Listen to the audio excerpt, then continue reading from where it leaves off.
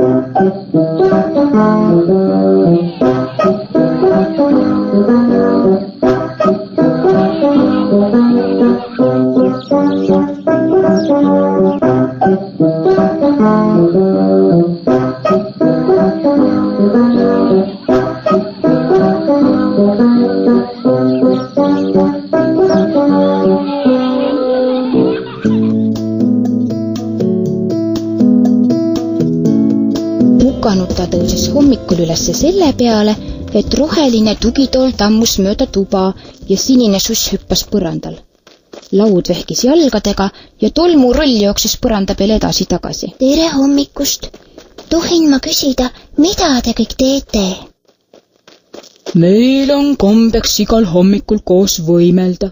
see on meile kasulik ja teeb hea tuju. mina küll ei taha võimelda pukanuta otsustas, et pisut kätega kaasa vibutada pole paha. oh, tänaseks aitab. pukanuta, mine vaata kööki, äkki leiad kapist endale midagi süüa. niipea kui loomake oli köögiuksest sisse astunud, nägi ta oma suureks üllatuseks vastu jalutamas suurt punast kaussi, mis oli täis auravat putru kausi taga hüppas lusikas. tere, Pukanuta! kuulsime juba sinust ja tahtsime sind üllatada kaera helbe pudruga. oo, aitäh, see on minu lemmik.